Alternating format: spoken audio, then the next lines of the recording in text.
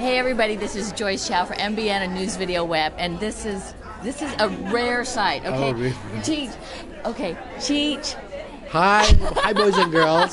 Oh my gosh, it's like this is the first time I've ever seen you at any of the gifting suites. Really, Ever. really, you This should is- get out is more. like landmark. I hope I get some body creams Ooh. oh, and more than that. yeah, and some cookies.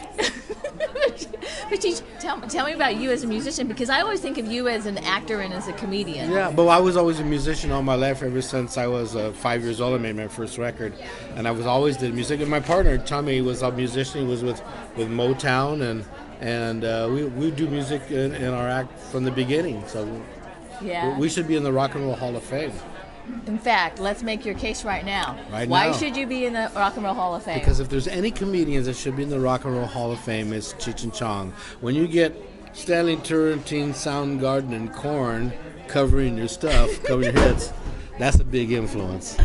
Uh, you know, I And what says rock and roll more than Cheech and Chong? I think this is amazing because I don't actually I don't think there's a, are there any comedians that are musicians? Yeah, most most Really? comedians are musicians. They are? Most. Steve Martin is a banjo player. Peter Sellers was a drummer. Uh, any any musician or comedian you could think of is is generally a musician because it has to, to do with timing.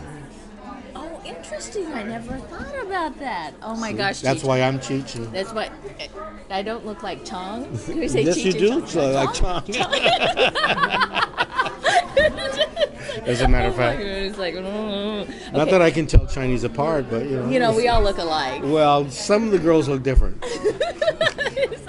Cheech, is there anything you'd love to add to your fans? Because I we wanna- see you out more often. I, I, I get out every once in a while when they let me out, but they don't they don't let me go that far. You know, there's a leash is not that long, and uh, it's nice to be out during Grammy week because I love the Grammys. I have a Grammy, and we we got nominated for a Grammy for every album we ever made, For every album? and we won one one year. That's cool. Which one did you win a, a Uh, Grammy for? we won it for Los Cochinos, uh, our album, but we've not. We should have won a bunch more, But A bunch more, of course. it's all rigged, you know. So what? do- What? Let's see. Who are you looking forward to seeing most at the Grammys? Besides Uh, yourself being there, The guys in the in the helmets. the guys in the helmets. The, the the head the head. Really? Those guys. Because it could be anybody. it's like you go to you do that? you go to Disneyland and then Mickey Mouse takes off his head as an Ethiopian guy. You know.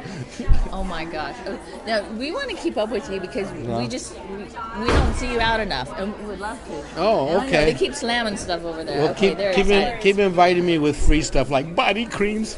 Oh God. Okay. Gee, where's the best place to catch up with you on the internet? Uh, go to cheechandchong.com and find out our schedule. We're out there doing concerts all the time. okay, perfect. Thank, you, so darling. much. We have to My see pleasure. you in concert. Okay. Yeah, absolutely. We want we want to come see you in concert. Go to a casino near you.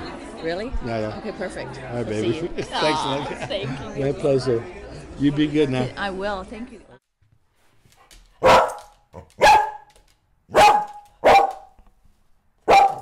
え?